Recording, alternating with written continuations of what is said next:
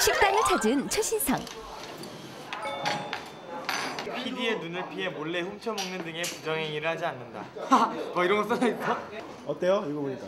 이 만원 행복은 어, 연예인들뿐만 아니라 어, 이거를 보시는 시청자분들이나 다른 분들께서도 이 만원 행복의 정신을 이어받아서 다 같이 굶었으면 좋겠습니다. 굶는 게 아니에요, 저희는. 그죠? 네, 절약하는. 네. 절약을 하면서 절약 정신에 대해서 다시 한번 생각하고 절약을 해야 한다. 아 맞다. 나 밥 먹기 전에 막 500원? 설거지하고 청소하고 400원, 막 500원? 서빙하고 하면 깎아주는 네, 저희 뭐일좀 하시면 깎아드려요.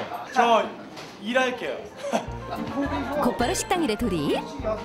네, 이어서 좀 이어서 좀 이쁘게 놔주세요. 예, 예, 알겠습니다. 다섯 개. 척척 잘하고 있네요. 이건데.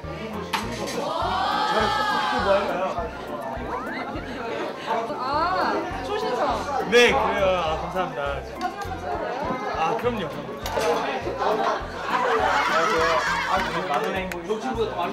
누군지 아시겠어요, 이거?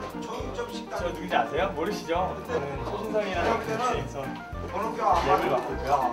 옛날에 시아 뮤직비디오 막 홍보하고 있어요. 아, 랩 한번 좀 해주세요. 에이요, 나는 케이스의 고개 숙인 명백한 피해자 순수함을 농락한 She's the one 아 여기까지 여기까지 지금 너무 연기에 힘드세요? 네 죽을 것 같아요 일좀 하셨으니까 고기 좀 싸게 드시죠. 열심히 일하고 밥 한 고기 200원 지출. 건일 씨 수고하셨어요.